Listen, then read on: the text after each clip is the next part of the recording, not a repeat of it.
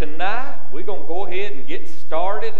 And uh, I know that you're going to be greatly blessed by all of this. And uh, let's uh, open up in a word of prayer. And then we're going to turn it over to Miss Diana and the choir. Let's pray. Jesus, we love you. And Lord, uh, we thank you so much for loving us. Father, our prayer tonight is simply that you would be glorified and honored. Lord, we're not trying to entertain anybody. Lord, we just want to tell the Christmas story in a different way. And uh, Lord, as we do, I pray all of us would leave here closer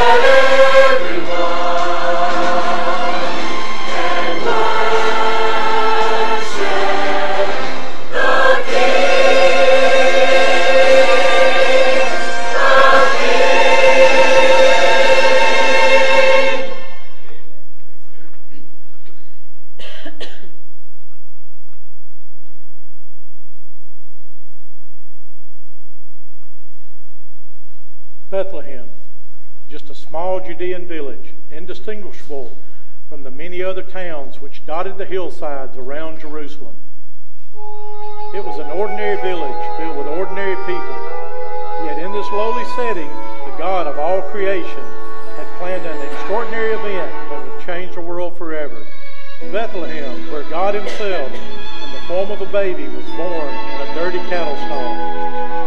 Such an humble beginning for the King of the universe, yet He chose to come as one of us to meet man as man. That meeting in a manger in Bethlehem would decide the destiny of every man.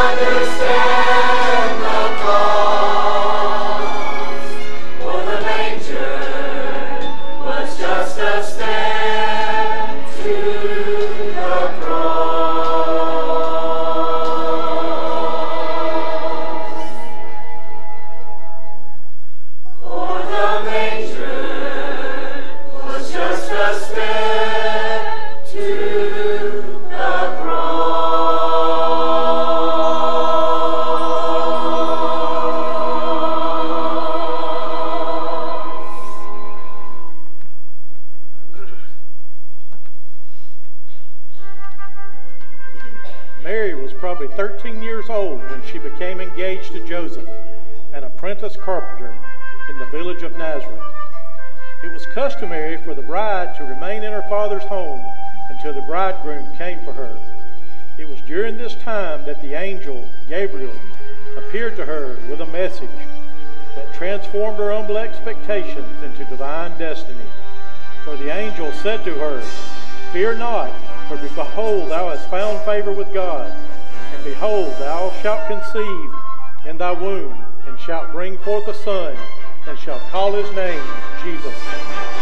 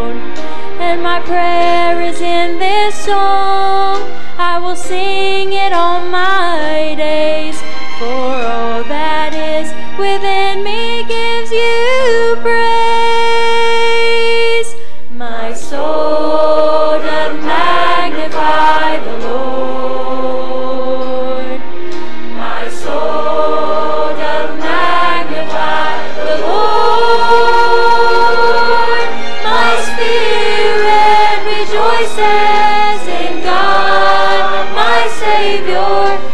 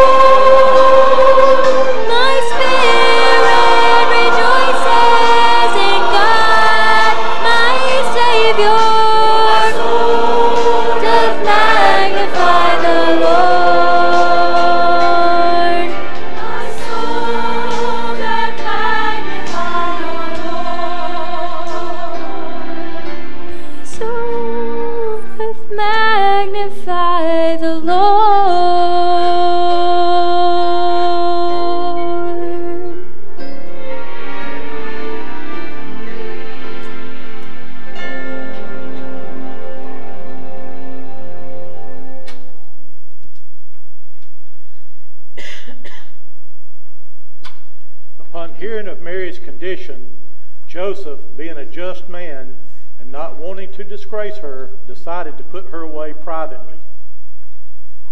With much anguish of heart, he prepared himself for the painful task. Hurt and alone, there seemed to be no hope, no escape from the despair that overwhelmed him. All that you had somehow has vanished.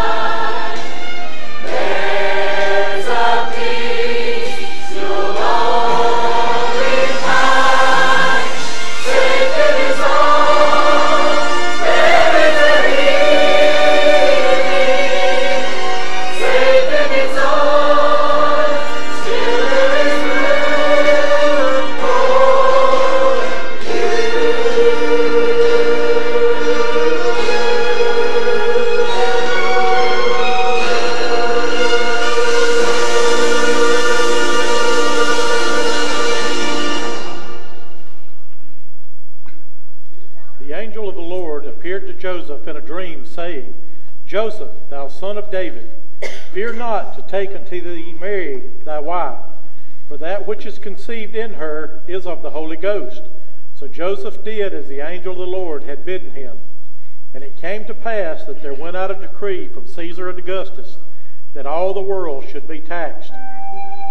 So Joseph went up from Galilee, out of the city of Nazareth, unto Judea, unto the city of David, which is called Bethlehem, to be taxed with Mary, his espoused wife, being great with child. And so it was that while they were there, the days were accomplished that she should be delivered. And she brought forth her firstborn son, and wrapped him in swaddling clothes, and laid him in a manger, for there was no room for them in the inn. And